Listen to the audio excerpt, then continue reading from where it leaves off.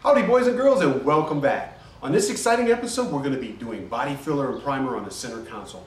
But first, I would like to share an article from Tractor Chicks magazine. Oh, here it is. Battered Women. Sounds delicious!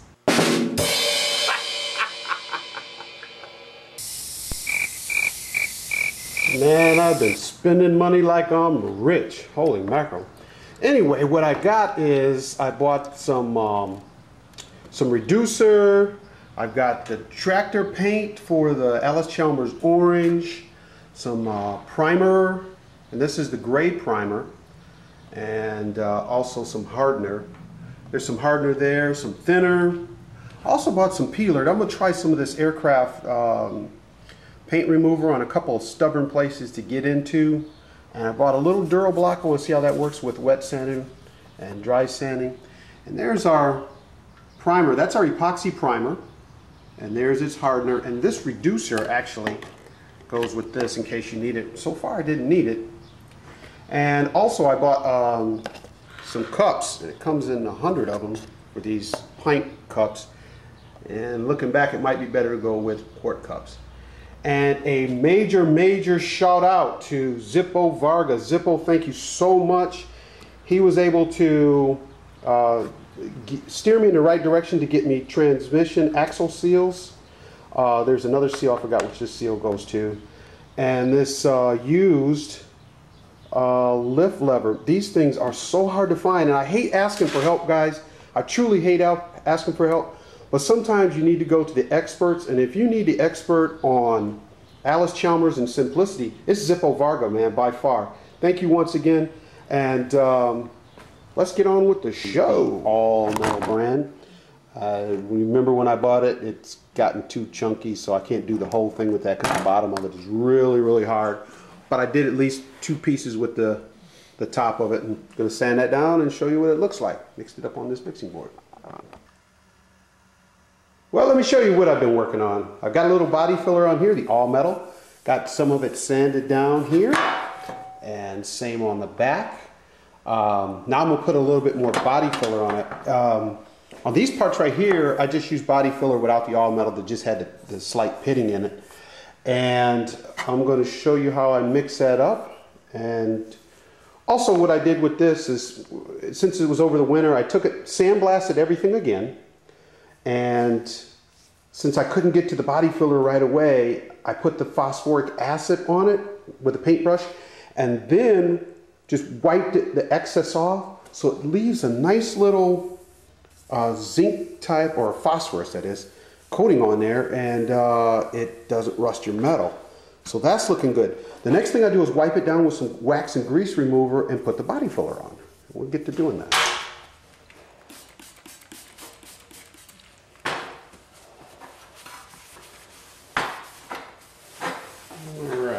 Mix up a little bit of this body filler. I'm going to use a whole bunch today. Um, and once again, it's on a sheet of glass that I got from Home Depot. It seems to be a nice little mixing surface, surface that is. So,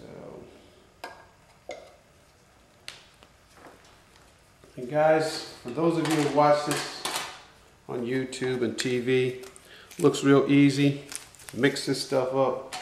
Well, it's not. Stuff is like dealing with tar. You're trying to make tar do what you want to do. Okay, there's the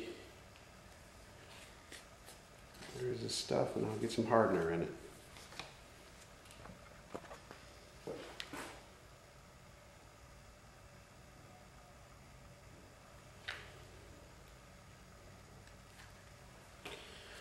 Okay, there's the hardener.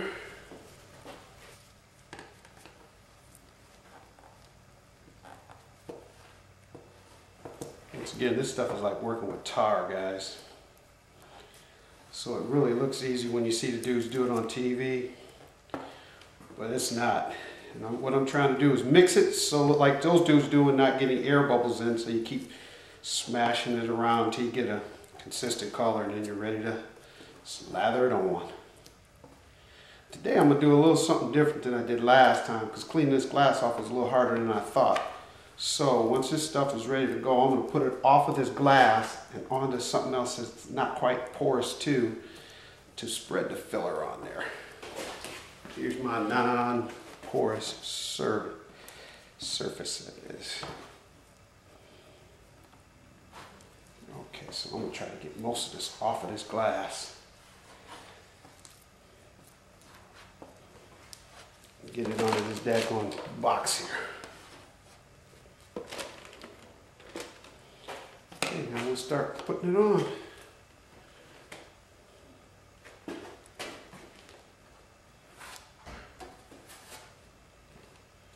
I'm putting it on thin, guys, because it saves you a lot of sanding if you don't if you don't thicken it up on there.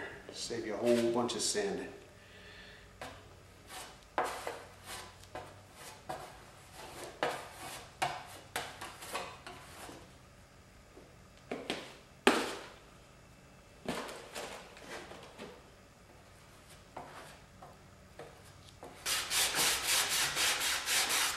Well guys, here's something I learned about body filler. Less is better. Put a little on, sand it, because if not, boy, it takes you forever to sand this stuff out. Anyway, she's coming along with the sanding part. Gonna get her all feathered out and get her ready for primer.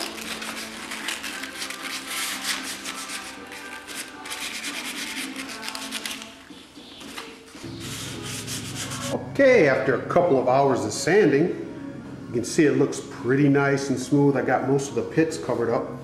Um, and it's just like they say, when you're sanding, you don't really know how it is, is if it's smooth or not unless you use your hands. You can see a little bit of the all metal body filler up here, which is like a monster to sand. And here's the regular body filler here. It feels fairly smooth on everything. These were the two worst parts right here with as far as pitting and holes and stuff. So that's what that looks like. And let's get some primer on this. First of all, we're gonna wash it down with some wax and grease remover, make sure it's really clean, and then get some primer on that baby. We'll be right back after a word from our sponsors. Dad, can I have a drink? Sure, son. Here, son. Thanks, Dad. This tastes like cheap tools. Matco Tool Aid. Tastes like real tools. Good tools. I prefer metric. Here, son. Try the Matco Tool Aid. Thank you.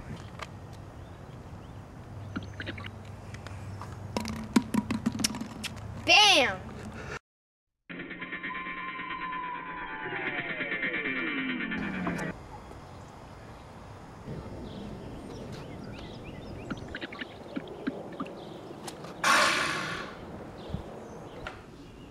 Going to try to see if we can get some paint sprayed.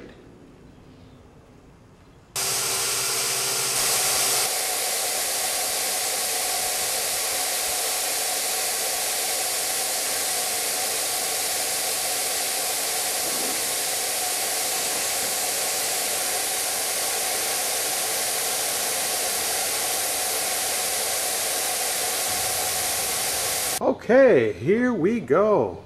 That's the uh, stuff I put down there. You can see where the body filler stuff is kind of showing through. But I put down thin coats, about uh, three or four of those thin coats. Got good coverage. Well, here are the primed, epoxy primer primed pieces.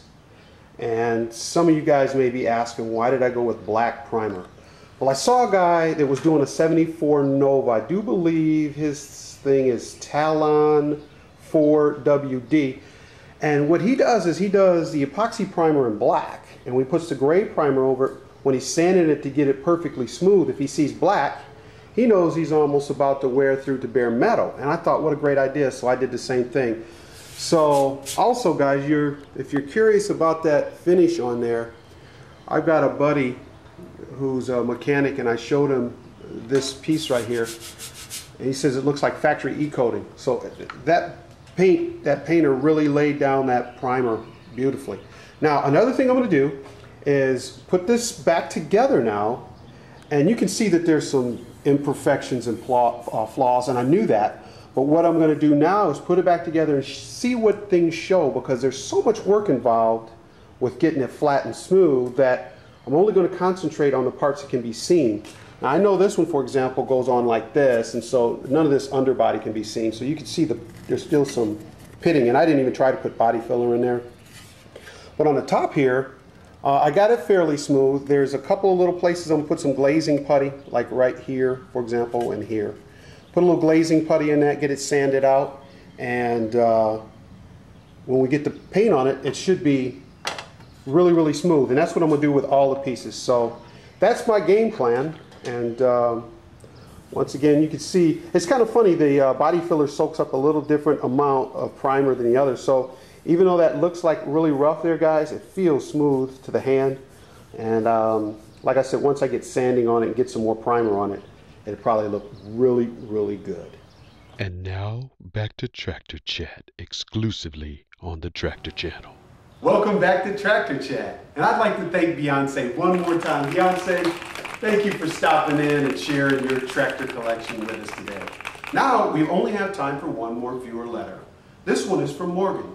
Dear Jaster 1963, I am a Hollywood starlet.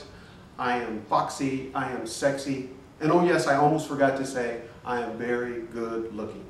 I am currently on location filming in the French Riviera and I enjoy the Dom Perignon champagne, the walks on the beach.